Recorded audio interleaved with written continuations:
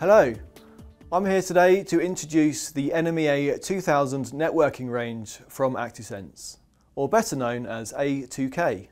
If you're new to NMEA 2000, devices don't connect directly into one another like they used to for NMEA 0183. You must have a network installed for each device to connect into and share data. If you're not sure what that involves, we've come up with a selection of fantastic start kits that provide everything you need to get started. For the veterans of the NMEA 2000 world, we know that every network is different, which is why we've provided a variety of innovative solutions to suit any light cable installation.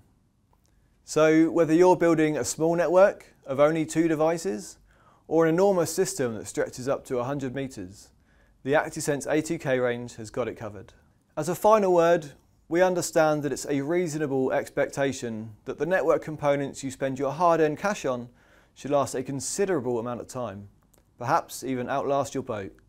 With this in mind, we have designed an A2K range with reliability built in that is earning a reputation that is growing exponentially as the most robust in the industry.